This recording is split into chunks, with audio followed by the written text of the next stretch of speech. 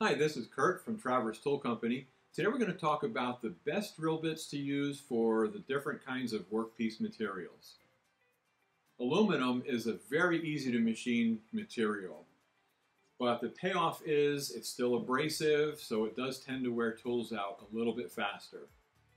For high volume, production type work, something where you're really going to need the drill bit to last a long time for you, solid carbide is the best way to go.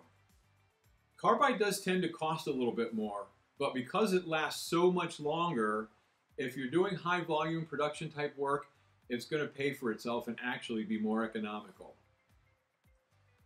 If you're only poking a few holes in something, then save your money. Don't spend the money on carbide. High speed steel is ideal. And in aluminum, you can use just about anything because it's so easy to machine. These are some excellent choices for drilling aluminum. A good quality high-speed steel drill bit is great for general purpose drilling of mild steel. Cobalt will be better for higher volume, uh, more production use though. They'll last longer because they're harder.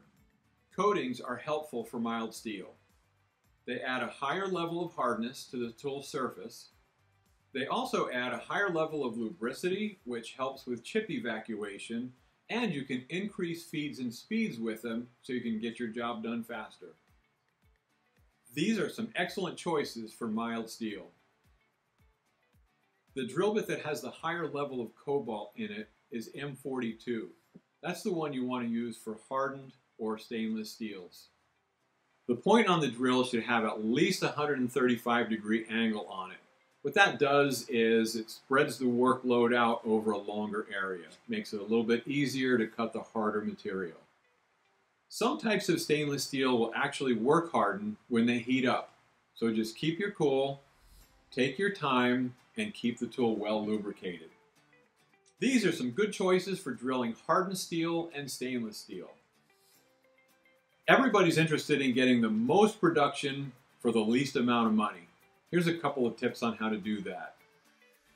First, make sure you use coolant. Use coolant or cutting oil anytime you're drilling any kind of material. You have to keep that drill bit cool. Everybody likes to get the most and spend the least. When you stay away from the cheapest drill bits, the better ones don't really cost that much more, and even if you're drilling only a couple of holes, it's going to work so much better for you. We're only scratching the surface here when it comes to drill bits. If you have any other questions, let us know and we'd be happy to help.